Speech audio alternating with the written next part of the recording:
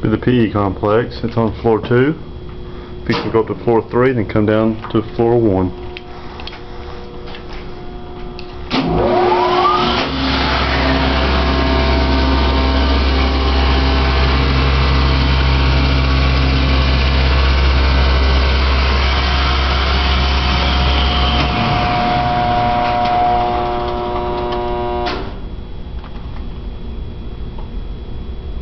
There's like an ESCO label on that.